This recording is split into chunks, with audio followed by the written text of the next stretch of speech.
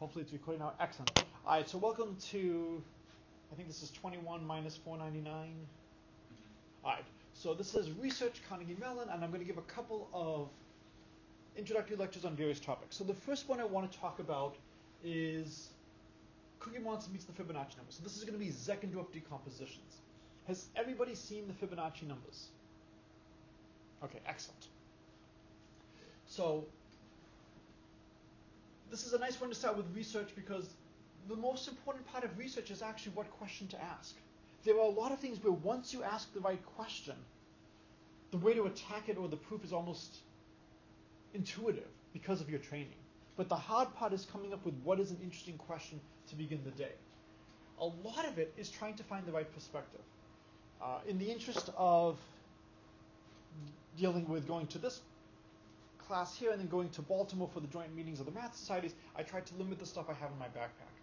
How many people here have never seen a standard Rubik's Cube? Okay, good. So I only brought two specialty Rubik's Cubes. So, for instance, this cube looks a little bit strange. And so it's got this, the right colors, but it's got some kind of strange pattern, and it's actually two by three on these sides, and a strange 9 on this side. And this is another one that's similar with a kind of cross pattern. And if you try to solve red, it doesn't turn the right way. Now, you can turn things in this plane, but you can't turn things up like you could on a normal cube.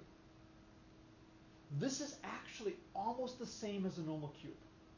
If you turn it at 45 degrees and consider this your first face, and now you move things up like that, Similarly, for this one, you have to hold it at a like a 30 or 60 degree angle, and you move it like that. It's the power of the right perspective. It's not quite the same because you could have pieces that are flipped, and that can cause some issues. You can have centers that are rotated, and on a regular cube, you're not going to notice a center that's rotated because the pictures aren't the same. Whereas here, this center is not a square; it's a rectangle, so there will be some differences. But most of it can be solved the same as a regular cube. It's the power of looking at things the right way. So Joshua and I solved a, a nice problem a couple of years ago, but we were not looking at it the right way. And yeah, yeah, okay, right. he'll agree with me. Yes, yes. Mhm. And then it took us a couple of years, and when we were working with other people, we said, oh, because we were trying to generalize it. If we look at it this way, then all of a sudden we can prove what we did and a lot more with a lot less work. And sometimes, if you know too much, you're going to look at something and try to use the special properties of numbers or the special property of whatever system you're looking at. So I can't emphasize enough how important that is. Utilize what tools you have. What do you know? Well, if you've only taken linear algebra and discrete math, that's probably where you're going to be drawing a lot of your inspiration. The more math you see, the more opportunities you have to make connections. I've written papers in marketing because my wife is a marketing professor, and when I was dating her, some of her professors were, wait, you're dating a math guy? Can we talk to him? Now, the smart people in the subject, if they could have solved the problem using their techniques, they would have. They were stuck. Their techniques didn't work. Well, I have a different set of tools. I have a different set of tricks. Feynman talks about this, if you've ever read some of his stories, where he would be given integrals to solve that nobody else could get around him. As well, they've probably tried all the standard stuff, because if the standard stuff worked, they wouldn't come to me. Let me jump to differentiating under the integral sign, which most people don't know. And then he would solve it very quickly. So to me, the phrase is the law of the hammer. If all you have is a hammer, pretty soon every problem looks like a nail. One way to look at this is if you're good at something, find a way to use it. An even better way to look at this is if you're good at something, go to the land of the screwdriver with your hammer. If they could have solved it with a screwdriver, they would have. You have a different tool, use that tool. And then the last is you know, just some advice on success. Control what you can. If you get an email, respond to the email within 24 hours. Write up re- your work as you're going along so that when the semester is over, the summer is over, you've already got stuff there. Whatever you can do, these small little things, do them. So it's not a coincidence that I chose those letters. You get REU for REUs, the research experience for undergraduates. And so if, though, if any of you are interested in, in programs like that, the deadlines are fast approaching, and I'm happy to talk to you. These are terrific opportunities to work over the summer and just spend a little bit more time exploring mathematics. All right, so this is joint with many students and colleagues over the years. All right, so uh, I'm going to skip over some of the slides because we've got a lot to do. A lot of it is ask interesting questions. I've talked about the law of the hammer. I've talked about writing things up, so I'm going to skip all this. You know, prereqs. How many people have not seen any probability? Okay, great. So I'll go this really fast. So x is a random variable with density p of x. It's non-negative. It integrates to 1. The probability take on a value between a and b is just the area under the curve. If you took a calculus class and they never mentioned probability when they taught you integration, it's probably a little bit extreme to say the professor should be shot or the teacher should be shot, but not by much. I, only once in my life has someone come up to me on the street and asked me to calculate an area for them. And this was in Berkeley, California. You meet some interesting characters there. Probabilities, you do that all the time. And this is one of the reasons we care so much about integration. And we care so much about certain classes of functions which are easy to work with. Uh, the next is the mean is the average value, so it's x times p of x. The variance or how spread out something is x minus mu squared p of x. So the smaller this is, that means the more concentrated you are about the mean. One of the most common distributions is the Gaussian. Hopefully everyone has seen the Gaussian bell curve, standard normal. When you have this many names, it's probably important. All right. n factorial is the number of ways to order n objects where order matters. N choose k, lots of different ways of writing it, is the number of ways to choose k objects from n when order matters. If I'm lecturing and there's something you haven't seen before, you have two options. Either raise your hand or speak up and say, Professor Miller, could you say a little bit more about that? Or just go, yeah, I can quickly learn that tonight or over the next week. And just nod your head and look like, oh, yeah, yeah. And then the last one, which is useful, is Stirling's formula. I used to do this all, well, no, if this is being recorded, I will stop. Uh, Stirling's formula, n factorial, is approximately n to the n e to the minus n squared of 2 pi n.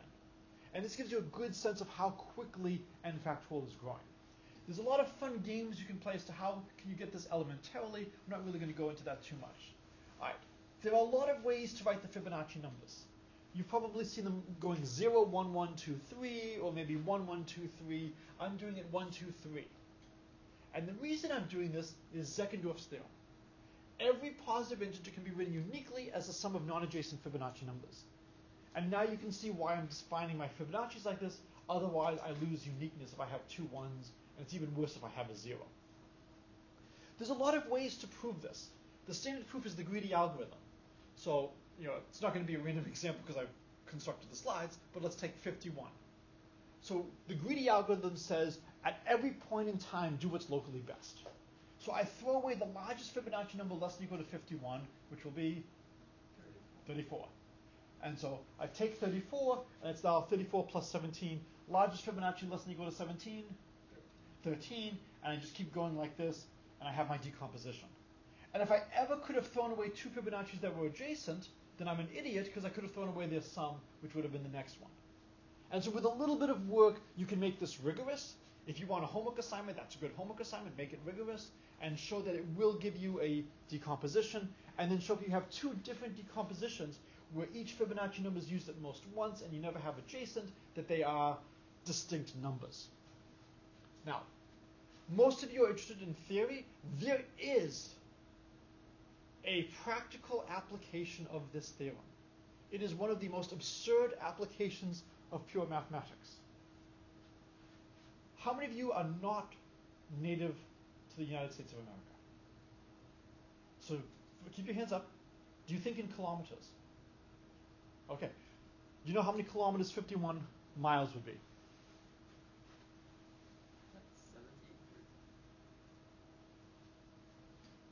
Not 70. 70 is way too low. Uh, A little bit more than 80. How do you convert from miles to kilometers? approximately times 1.6. Approximately times 1.6. Let's take the Zeckendorf decomposition.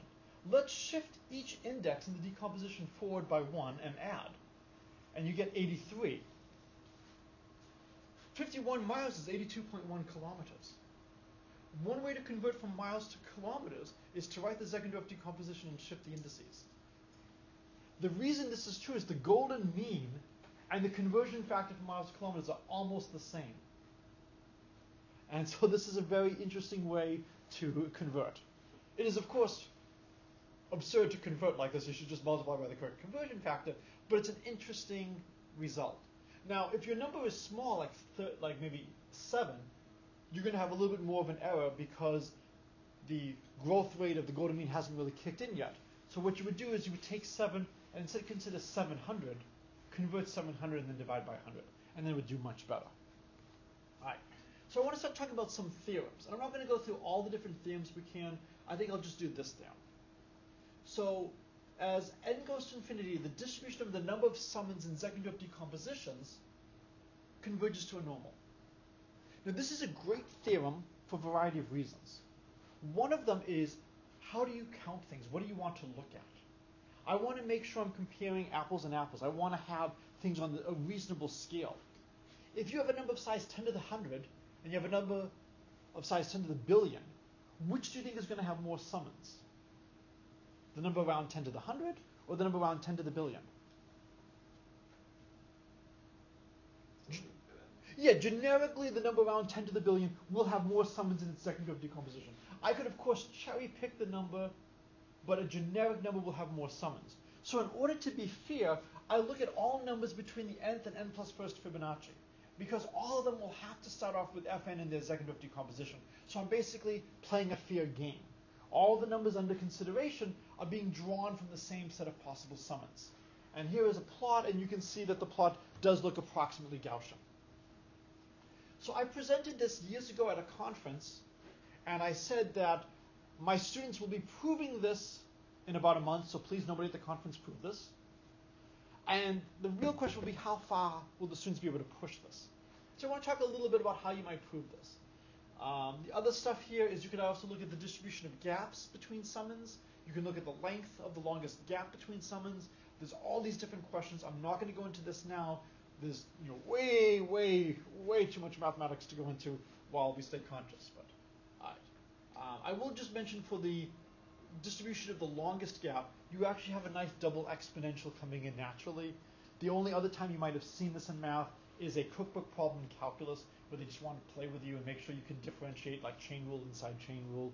But stuff like this does come up and leads to some incredible strong concentration results. All right.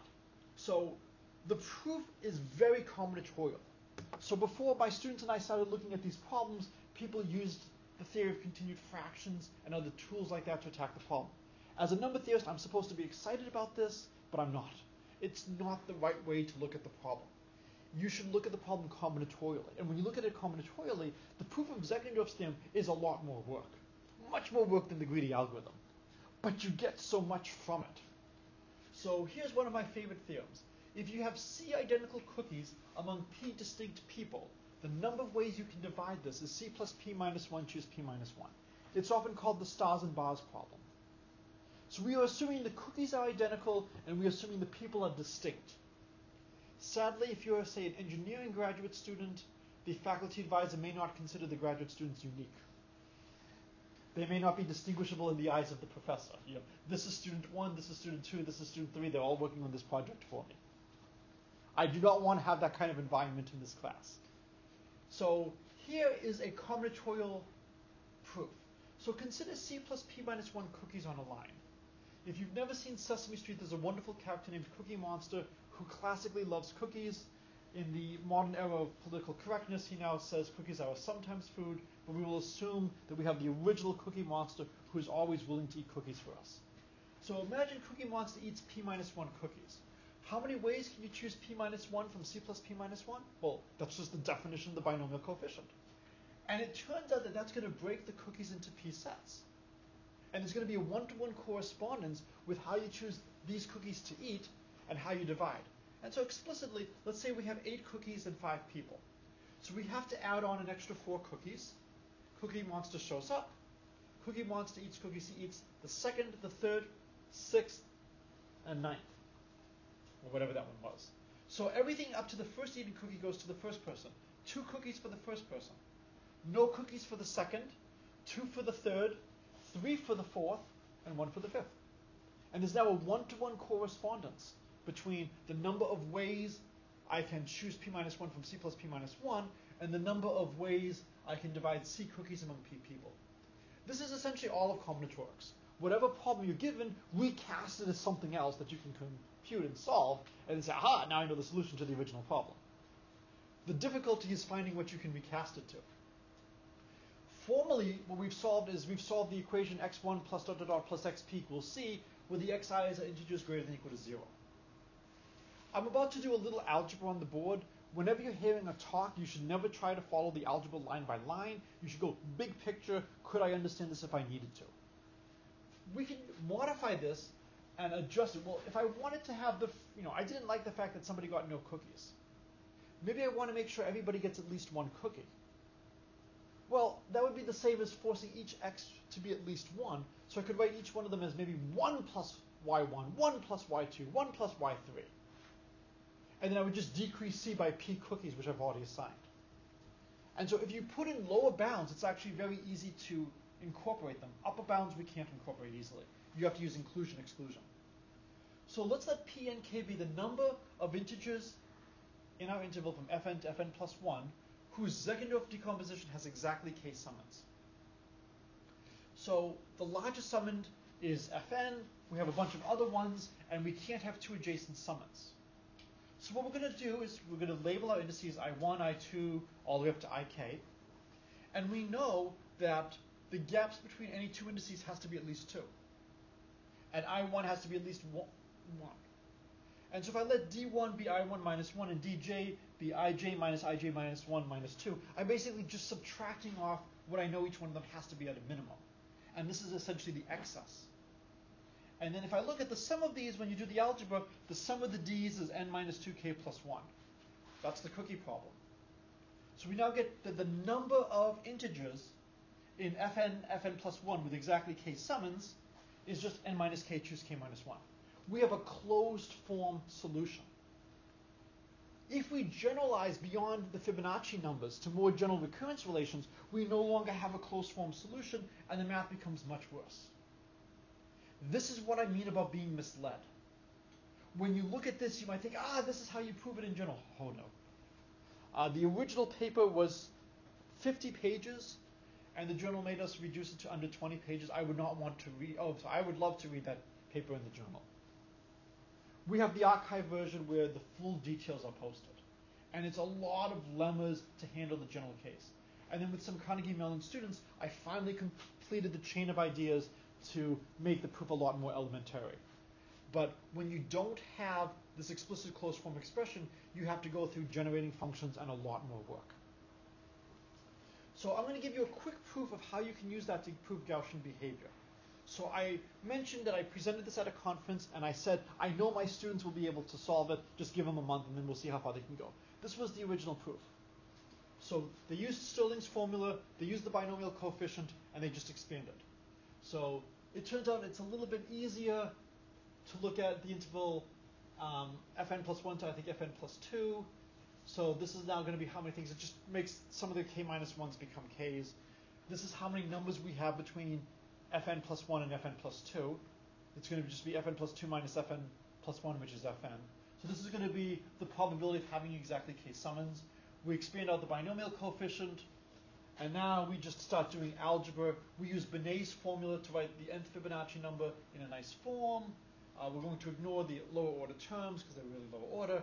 And you just go through, you keep doing algebra, and you do some more algebra, and you do some more algebra, and you do some more algebra. You mutter some things about your professor, but he can't hear you, you continue to do the algebra, you continue to do the algebra, and finally you get to the little red square, which means you've reached the end of the proof, and you're done. It's not illuminating. You don't really have a sense of why it's true. It's, I've done some algebra and I have the result. That's great. That's the first thing you want is, do I have the result? But now that I have the result, do I have some idea of why it's true? So I'll give you a quick sketch as to why it's true. So you can consider more general linear recurrence and it's a big question as to which coefficients can you put in. We'll assume the c's are all non-negative integers. C1 has to be positive or things become far more interesting. And if people want, there's a lot of really nice stuff to look at if you allow C1 to be zero. Uh, CL has to be positive because otherwise you wouldn't write it if it was zero. And so it turns out you still have Zeckendorf's theorem. There's a unique decomposition. There's a generalization of what it means to be a legal decomposition. It's not worth going into that now. And then you also have the Gaussian behavior. Uh, things become a little bit more involved in terms of doing the computations. Uh, things are more involved. And I'm going to give you a quick sketch of the proof as to why things are Gaussian. Alright, what is your favorite base to work with? Okay, I wasn't sure if I would get 10 or 2 at Carnegie Mellon. I will risk the following joke. Does anybody know why the computer scientists confused Halloween with Christmas? Do you know the joke? What's the reason? uh, like 25 in uh, base 8 is Yes, 31. oct, th- oct 31, Yeah, yeah, yeah. Out 31. oct 31 Out- equals dec 25. And this is why the computer scientists confuses Christmas and Halloween. We are basically doing something almost in base Fibonacci. Well, let's go back to base 10. We know base 10. Let's try to build intuition there. If you take exams, frequently exams give you a problem, and what you should do, especially on the Putnam, is try a simpler case first, build intuition. Let's build intuition on base 10. So I'm going to say hn plus 1 is 10hn. It's just the decimal decomposition. And so now a legal decomposition just means I have a sum where the AIs are between 0 and 9, and the only constraint is that the, the leading digit can't be a 0. And if I want to know how many summands I have, I just sum up all the AIs. Well, all the AIs are uniform, identically distributed random variables from 0 to 9, except for the last one, which is just from 1 to 9. Well, as my number becomes very, very large, the fact that one digit can't have a 0 is not a big deal.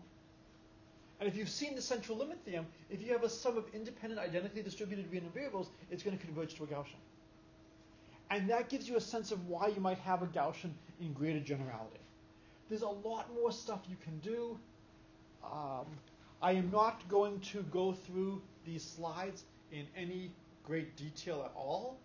But if I just go like this, then you can at least pause the video, although the slides will also be online. Now skip all the stuff about gaps, but there's a lot of questions you can do. Uh, we looked at Fibonacci's. I will skip all that. Uh, that's my daughter. We actually made a Fibonacci spiral out of fuse beads. And then here was an interesting one. And there's a lot of great work you can do on this problem. So we're trying to come up with new decomposition rules and eventually trying to find things that are multidimensional. This one can be reduced to one dimensional. The stuff that Joshua was doing with me is multidimensional. So we take, a, we take the Fibonacci spiral. You can either see it here or better here. So the Fibonacci numbers cover the plane as you spiral out with a square that's, you know, fn by fn. And so this is just compressing things so I can draw it a little bit easier. And the rule is when you take your summands, you can't take two summands that share a wall. So I've got one, two, three, four, five. I, I can get six with four plus two. So I don't need to add six. I can't get seven because four and three they touch, or four, one, and two they touch. So I have to add seven. I can get eight. I can't get nine. Can I get ten? Nine and one. Nine and one. Can I get eleven? Nine. Nine and two. You know, since the next number is twelve, I almost surely can get eleven. Um, but how did you say I got eleven? Nine and two or Or four and seven. so nine and two, or four and seven. So what this tells you now is you've lost unique decomposition. And then you can start to ask how often can you represent numbers? And there's a lot of great things you can do. Uh, set up a multi-recurrence relation, and we were able to show that it's approximately 92% of numbers um, where the greedy algorithm will decompose in a legal decomposition. I, I don't think I included it here. Um, but the number of decompositions is okay. It's over here. The number of decompositions is growing exponentially. So if there was a unique decomposition, it would be basically one, and it's like 1.05459 approximately to the end. So it's exponentially growing on average how many decompositions you have. So there's a lot of stuff you can do here. All right, for the last part of this talk, I want to go back and you know this is my daughter a couple of years ago. I'm her father. I love her, but that doesn't mean I want her to beat me. And so I try to find ways to make math into games. And last year I gave one of my thesis students the following. Here's a game I've created involving Fibonacci numbers. Your thesis is to tell me how to beat my daughter.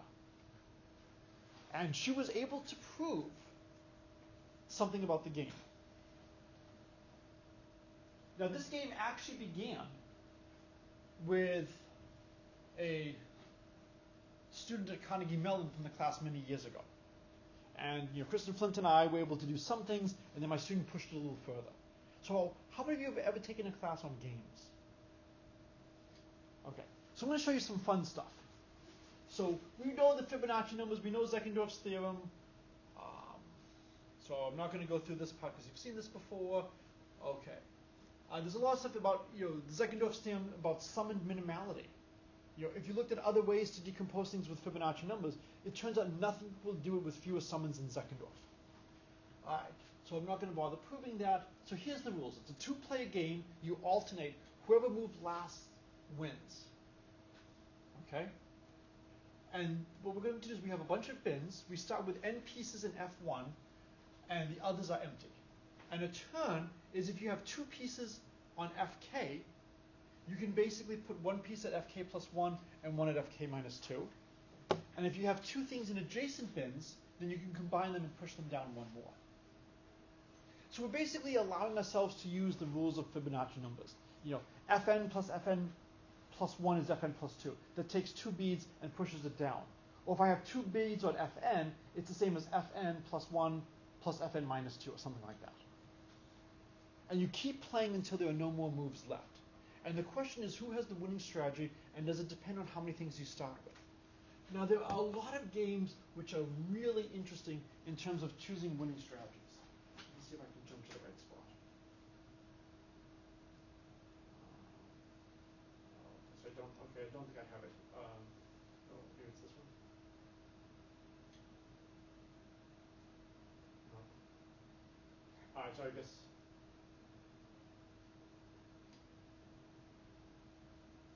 Oh, okay. No. Oh, okay. So okay. So I didn't include that slide. All right. Not a big deal. All right. So does the game end, or could this game go on forever? For each end, who has the winning strategy? And then the last one, which is the important question to some extent, is who has the winning strategy? Imagine you are a political consultant hired for somebody who's planning on running for president in 2020. And say, great news! There's a way for you to get 270 electoral votes and win the presidency. Wonderful, what should I do? Oh, well, it's an existence proof. You're not going to make many friends with an existence proof there. They were like, well, could you give me something a little bit more constructive as to how I can get to 270 electoral votes? So let's say we start off with 10 pieces at F1. So we start off with the number 10. Well, there's only one possible first move. We have to take two things on 1 and put something on 2. Now we have two possible moves. We can take a 1 and a 2 and make a 3, or we can take two things on a 1 and put on a 2. So let's say we'll take two things on a 1 and put it on a 2. Note that 8 times 1 plus 1 times 2 is still 10. 6 times 1 plus 2 times 2 is still 10. We have three moves now. I can split the 2. I can take two 1s and make a 2, or I can take a 1 and a 2 and make a 3. This time let me split the 2's. Uh, for the next move, I'm going to take two 1s and move to a 2. That's the only move I can do. And I keep playing like this. And when the game ends, no moves left. Player 1 was triumphant. And so here I've listed all the moves. Now you all have terrific powers of observation. What do you find interesting about this slide?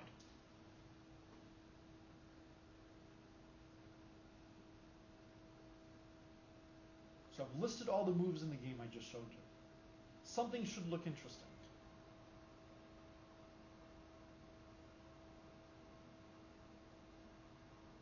Yes? So there's going to be one uh, in each bin, and there's not going to be uh, two bins that are not empty that are next to each other. When, when the game ends? Yes. Yeah, so it, so it turns out that this is not just a fluke. You will always end in the Zeckendorf decomposition. And the game will always terminate, and will always terminate in the Zeckendorf decomposition. Yes? I think the squ- uh, the sum of squares is constantly increasing, Ah! uh, except for the first set when when we move from one to two. So there's something called a monovariant. It's a quantity that always moves in at most one direction. And in fact, something like that is crucial in the proofs. But you're, you're all making great comments, but you're overanalyzing. When you look at this chart, something should strike you. Something looks should look a little strange.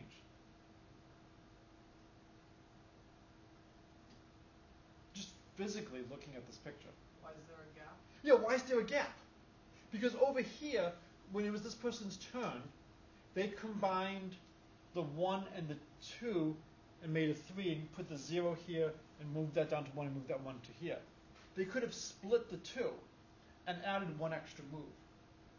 And by adding that, we'll still get to the same, but it will change the parity. So one way to figure out who's going to win are these parity moves. Can you do something to get to the same spot but change? So there's a lot of analysis on winning strategies.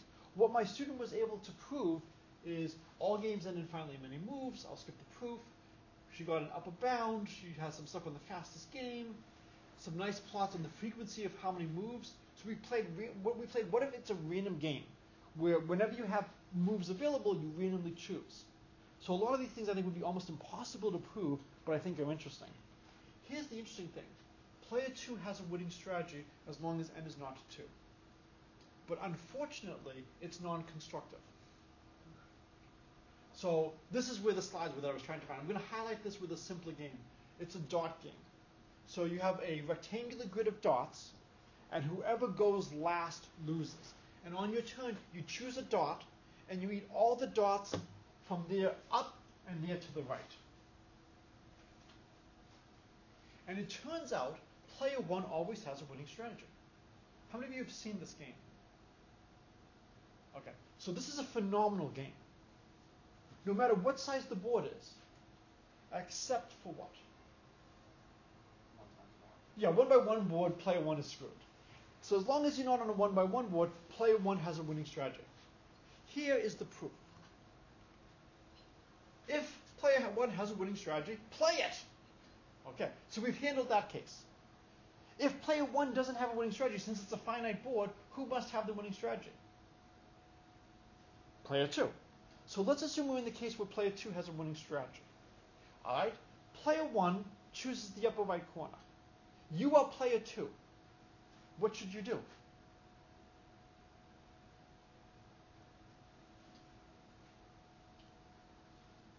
You can give me just a general statement of what you should do if you don't know which specific dot to choose. Which dot should you choose? Play your winning You play your winning strategy. All right. I will say that this was the dot that was your winning strategy. Okay? By assumption, player two has the winning strategy in this case. So if player one goes here, player two has a winning strategy. Let's say it goes here. You, I think you just realized it. So what should player one have done? Played where player two would. Yeah, player one should have just gone there to begin with. And player one can switch parities and now essentially become player two. This proves player one has the winning strategy. And it is a non constructive existence proof. Right? Step one is to prove the result. That's nice, we have the proof. And so what she was able to do is we have a notation that describes games, and we'll color it.